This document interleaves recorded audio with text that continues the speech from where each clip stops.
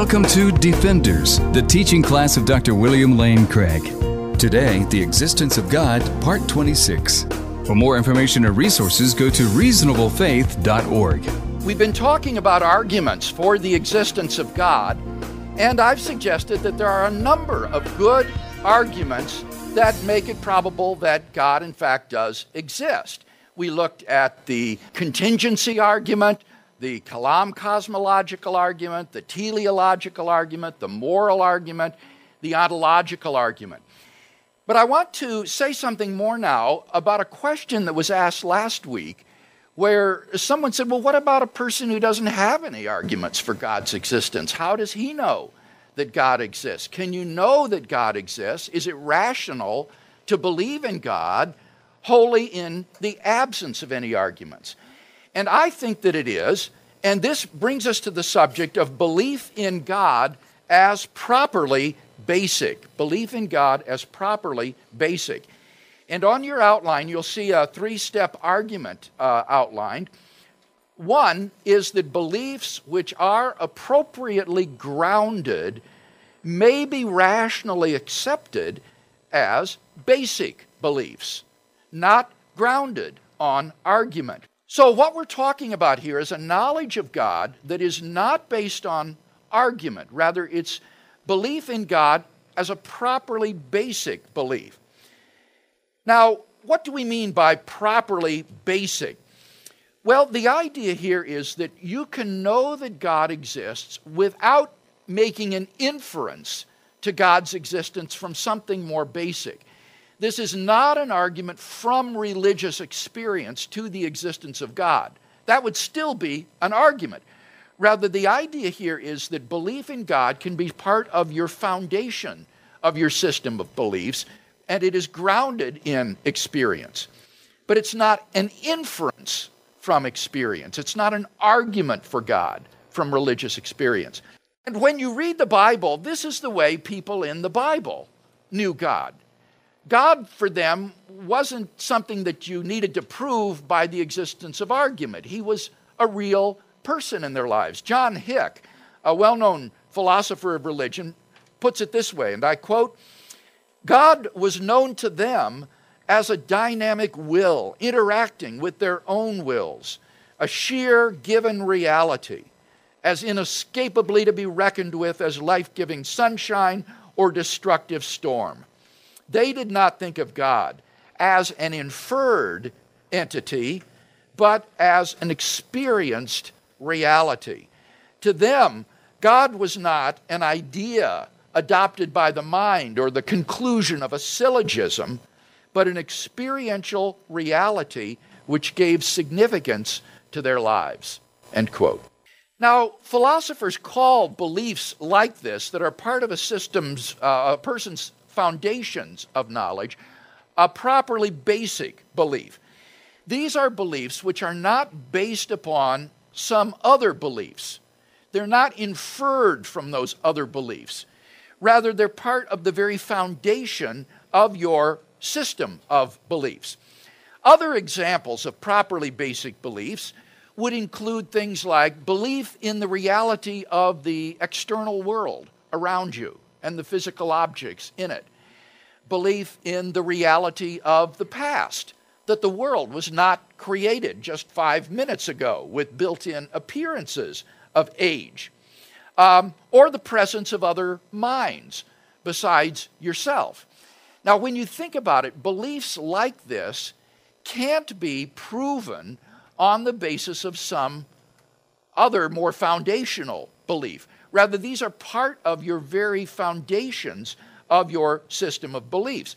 How could you prove, for example, that you're not just a body lying in the matrix, wired up with electrodes being stimulated to live in a sort of virtual reality and think that you're here in this room listening to the defenders class where in fact you're actually just lying in the matrix with tubes and wires coming out of you there's no way that you could prove that that was false or uh, imagine the belief that the world was not created five minutes ago how could you prove that the world wasn't created five minutes ago with built in memory traces in our brains from events that never happened, breakfasts in our stomachs from meals we never really ate, and all the other appearances of age. There's no way to disprove that sort of wild hypothesis.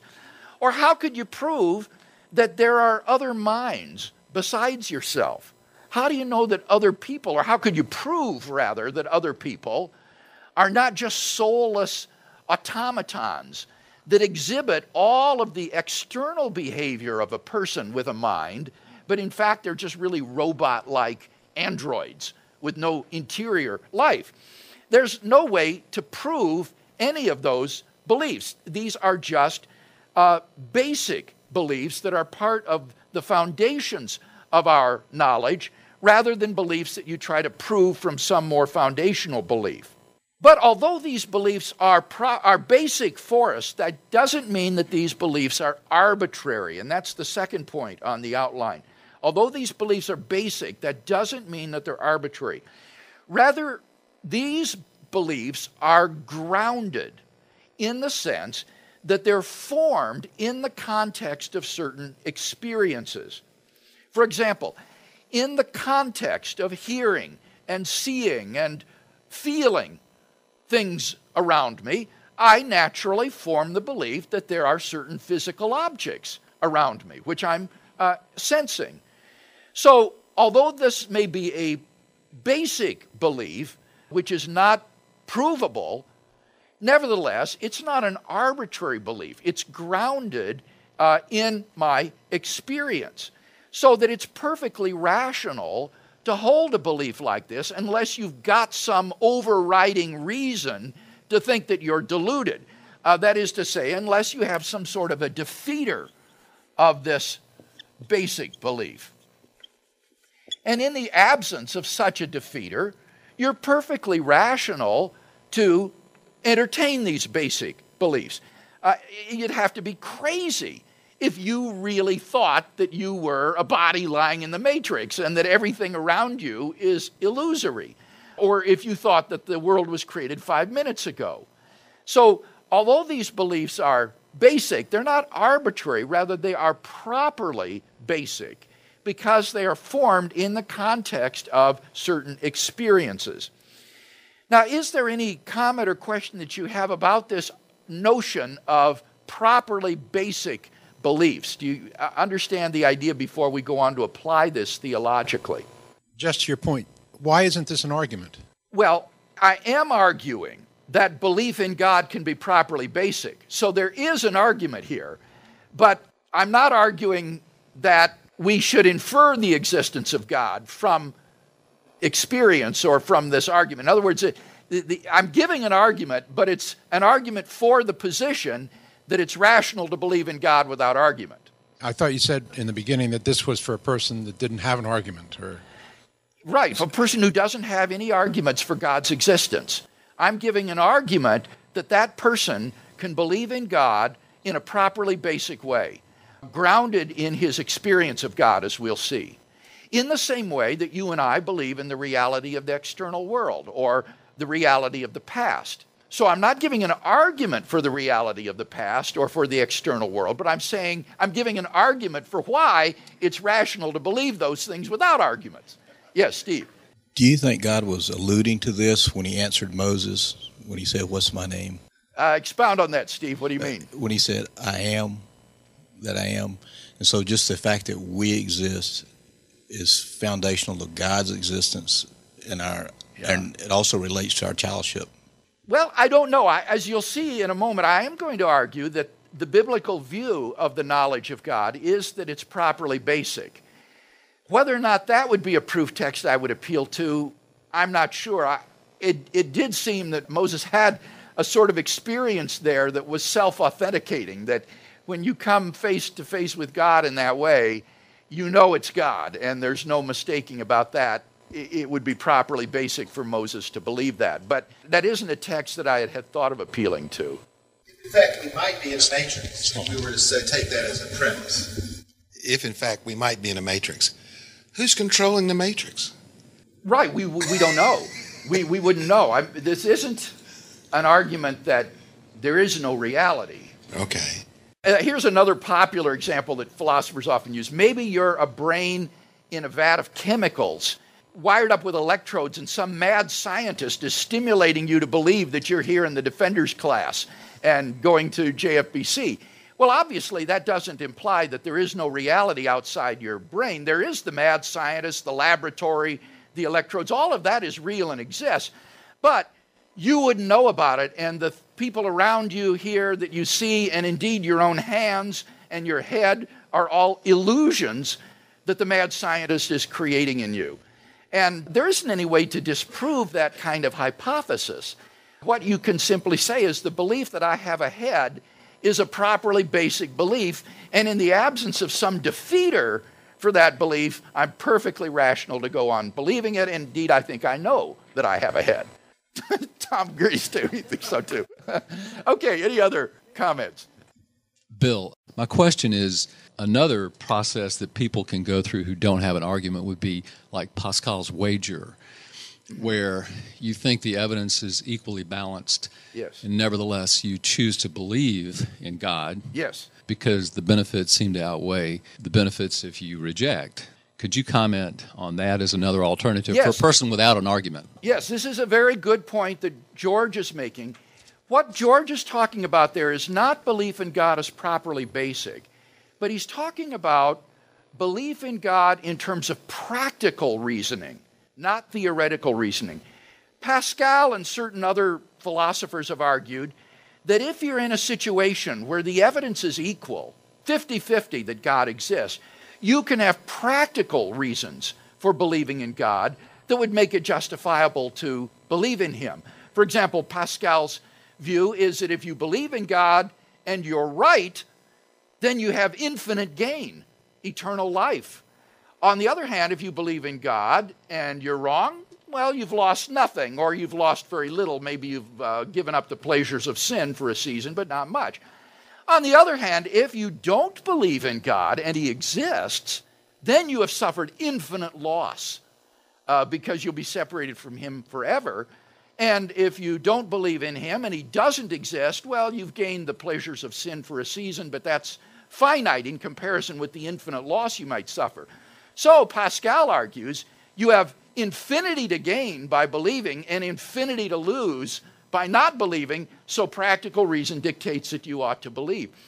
Now, Pascal's wager is, is the subject of a great deal of controversy, and some very interesting things have been written about it. I talk about it in the book Philosophical Foundations for a Christian Worldview, which I wrote with J.P. Moreland. So if you're interested in this justification for belief in God, take a look at the chapter in Philosophical Foundations for a Christian Worldview. The essential difference between this approach, this Pascalian approach, and properly basic belief in God is this. Pascal's approach would be that you can, be, you can be justified in believing in God in the absence of any warrant for it. That it's okay to believe something without warrant. The view that God, belief in God is properly basic says that you are warranted in believing in God. But you're warranted in believing in it not by an argument, but in a properly basic way. So it's, it's very different. One is trying to say you can believe in God without any warrant at all, by just gambling, as it were. The other way is to say that you are warranted in believing in God, but in a non inferential way. You believe, you're warranted in believing in God in a properly basic way, just as your belief in the external world is warranted, or your belief in the reality of the past is warranted. Those aren't just gambles, you're warranted in believing those things. So that separates these two approaches as, as very, very different from each other. I'll say something more about the properly basic belief and, and fideism, or is this just by faith? Uh, and how does warrant work here, but we'll say that later on. I think that was a Bruce over here, yes.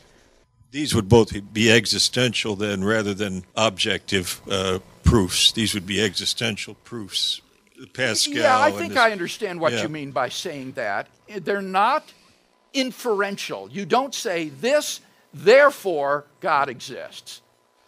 But it's more existential in the sense that you just have this belief in this context of this experience. So, yes, I, I think that would be a fair way to characterize it. So, uh, would you be making the argument then that um, a belief based on sense data is more likely than, uh, say, a belief contrary to you know our senses? Is that well, what you're saying? Now, likelihood. I, I, you say it's basic, but you know, say if something yeah. was contrary to our senses, would that be a basic? Could that be uh, properly basic as well? Something contrary to uh, you know our you know senses you know in reality. Well, it would depend on if you had some sort of experience that would would ground that. I, I obviously sometimes our senses do mislead us, right? We see the stick in the jar of water and it looks bent, but we don't believe that because we have a defeater for that. We know by optics that the light is refracted when it goes through the water, so the stick looks bent. And so, because of that defeater, that defeats that properly basic belief that the stick is bent. So, these beliefs that are known in a properly basic way are not indubitable. They, they can be revised if there are defeaters for them. So, sometimes you're quite right. We deny something that our senses tell us we say it's a mirage or uh, it's, it's due to some other uh, aspect of our sensory experience that, that isn't the way reality is. But what we do say is that in the absence of a defeater, it's perfectly rational to go with what our senses tell us. Is that clear? Okay. So don't think of properly basic as meaning indubitable or unrevisable, because that's clearly not right. The idea is that in the absence of a defeater, you're justified in going with your experience uh, and what your experience tells you. All right, now, the second claim that I want to make is that belief in the God of the Bible uh, is appropriately grounded so that it can be a properly basic belief uh, on our part. And it seems to me that the fundamental way in which we as Christians know that God exists is not through argument. I think that arguments are sufficient to know that God exists, but they're not necessary. I want to suggest that the fundamental way in which we know that God exists is through the self authenticating witness of the Holy Spirit. Now, what do I mean by the self authenticating witness of the Holy Spirit? I mean that the experience of the Holy Spirit is veridical that is to say, it is uh, an experience of a genuine reality. It, it tells us uh, something that is true about reality. It is unmistakable for the person who has it. For the person who has the witness of the Holy Spirit and attends to it, uh, he can't be mistaken in thinking that it is the Holy Spirit. Uh, that doesn't mean, however, that it's irresistible or indubitable. We can grieve the Holy Spirit through sin. We can repress the Holy Spirit uh, by refusing to allow Him to fill us uh, so that we can resist the Holy Spirit. But for the person who attends to it and responds to it, the experience of the Holy Spirit is veridical and unmistakable. I also mean that such a person doesn't need to have supplementary arguments or evidences uh, in order to know and know with confidence that he is, in fact, experiencing the Spirit of God. You can have supplementary arguments, but you don't need them. I also mean that this experience doesn't function as a premise in an argument for God from religious experience. It's not as though you argue, I have this experience of the witness of the Holy Spirit, and the best explanation of this is that God exists. This is not an argument from religious experience. Rather, the idea here is that this is the immediate experience of God Himself, so that belief in God is formed in a properly basic way. I also mean that in certain contexts, the experience of the Holy Spirit will imply that we apprehend certain truths about God, like God loves me, or I am guilty before God, or God forgives me through Christ or I am reconciled to God through Christ, or Christ lives within me, and so forth. In certain contexts, these beliefs will uh, be implied by the, um, or will be apprehended rather, by the witness of the Holy Spirit. And I mean that such an experience gives a person not only a, subject, a subjective uh, uh, assurance of Christianity's truth, it's not just that he feels confident, but rather that he actually knows that Christianity is true. He has an objective knowledge that God exists uh, and has revealed himself in Christ. And finally, I mean that arguments and evidence which are incompatible with these truths are simply overwhelmed by the experience of the Holy Spirit for the person who fully attends to it. Arguments and evidence that are incompatible with this, these truths are overwhelmed by the experience of the Holy Spirit for the person who attends to it. And it seems to me that the New Testament teaches that this is the way in which we know that God exists, that Christianity is true, of whether you're a believer or an unbeliever.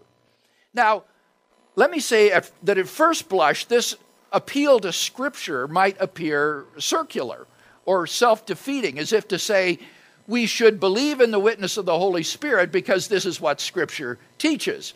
Um, we should believe there's a self authenticating witness of the Holy Spirit on the basis of this other thing, which would be self defeating, it would seem. But insofar as we are all Christians here today, and this is an in house discussion among people who do accept the authority of Scripture, I think it's entirely appropriate to look at what the Bible has to say about the way in which we know that God exists. Now, if we were talking with a non Christian, obviously we wouldn't appeal to the Bible to justify this. We would simply share with that person, I do experience the witness of the Holy Spirit uh, and he does give me assurance of these truths. But uh, among friends, so to speak, or among uh, family, I think it's entirely appropriate to see what does the Bible teach about how we know that God exists, that Christianity is true.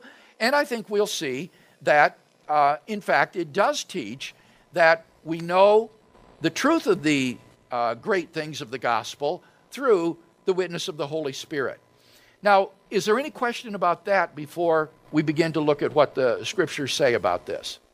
Wouldn't it be easier to prove the authority of the Bible through the basic knowledge of sense perception and causality and um, that you could what because Peter said we don't believe in myths we have we report what we see and what we hear and that the authority of the Bible can be proven and therefore if you can prove the authority of the Bible then you go from there, which to me is easier. And not just use it as my basic yeah. proper belief. Well, there's a number of things to say here. One is, even if that were easier, it would still be self defeating because in that case, you wouldn't be believing in this in a properly basic way. You would be believing in it on the basis of Scripture. yeah, but you're believing in it on the basis of truth? things that are historical, okay. things that happen? No, no. It, it, it's not an argument any more than my belief in the external world is an argument that's based on oh, sense experience. Okay. The idea is that this is a, a properly basic belief and it isn't an inference from anything. Now, now let me say something else about what you've said. I think that this that the view you expressed also has the disadvantage that it would rule out faith for anybody who didn't have the Bible. Somebody, say, who doesn't have it translated into his own language, uh, and there are millions of people like that today. Or somebody who doesn't have literacy skills and so can't read the Bible. And I want to say that these persons aren't shut out from salvation because of their illiteracy or the lack of translations of the Bible into their languages. If they hear the gospel preached to them by a shortwave radio, say, or by a friend or a missionary, I want to say that that person is rational in believing in the gospel, even if he has no evidence whatsoever that the Bible is true and can't even read the Bible. I agree with that, but I I thought you said that you really can't prove the authority of the Bible. Did did I misunderstand that? I think you did misunderstand okay. that. Okay, what I because said was what I said was that my appeal to the Bible here to help you see that this is the way in which we know God exists shouldn't be thought to be circular Right. because we are Christians, we do believe that the Bible is true, and so it's totally appropriate for us to ask, well, what does the Bible have to say about how we know God exists? But if my faith is based on 12 apostles and what they saw and what they heard, now that's just the intellectual part. Yeah. What does the scripture say? I'm going to talk about this later on, but I want you to look at 1 John chapter 5, where in verse 9, John is reflecting on the apostolic testimony to Jesus, and he talks about the witnesses to Christ, the Spirit, the water, and the blood. The water is probably Jesus' baptism, the blood is crucifixion. So these are the, the bookends of Jesus' earthly ministry.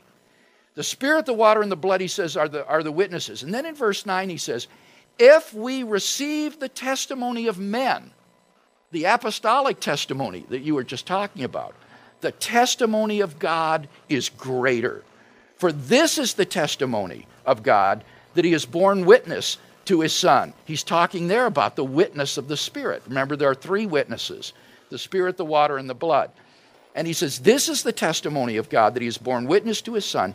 He who believes in the Son of God has the witness, the testimony in himself. So I think that John is teaching here that as great as the apostolic testimony is, uh, and as, as credible as it is, it, it is it pales in comparison to the testimony of the Holy Spirit Himself, who lives within us and gives us testimony that, that this is true. So we shouldn't think of these as competing with each other, but I, I do think that, and I wasn't suggesting you did, but I, I do want to say that it seems to me biblically that in addition to historical evidences and testimony, there's this other thing called the witness of the Holy Spirit that is even greater and, and will apply to people who are illiterate, even mentally retarded, and couldn't understand an argument for God's existence. That person can believe rationally too because of the witness of the Holy Spirit. Yes. Okay, if, since uh, that wasn't on the mic, let me just repeat it. She said, certainly that's true that through the witness of the Holy Spirit, for someone without the Bible, we can come to a knowledge of the great truths of the gospel. But most of us live in contexts where we have heard of the Bible, we have heard the evidences for God's existence. And that certainly is, is true, I think, for those of us who have had the benefit of living in America. But we need to think globally and we need to think historically. And when you think globally, the vast majority of the world's population doesn't have the intel- uh, not the intelligence, pardon me, they don't have the education, the library resources, or the leisure time to study arguments and evidence for God's existence, nor have most of the millions of people that have lived in the past who were largely illiterate and, and never had the opportunity to do this. So when we think globally and historically, there's got to be there's got to be some way of knowing these things, I think, apart from apologetics, apart from argument and evidence. And we'll go into this in a lot more detail, but I think you can already see the interesting questions that this raises about how do we know the, the great truths of the gospel? But I think what brought to mind what you were saying is that when Christ left, he said he was going to send the Holy Spirit.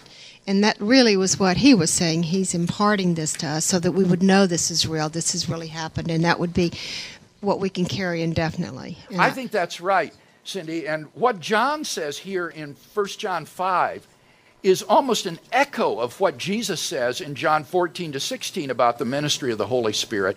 And we'll look at those passages then next time. So, next time, we'll look at the role of the Holy Spirit in the life of the believer, and then we'll look at the role of the Holy Spirit in the life of the unbeliever. And I'll argue that in both cases, the way in which we should know that God exists is primarily through the witness of His Holy Spirit. The copyright for the content of this recording is held by Dr. William Lane Craig. For more, go to reasonablefaith.org.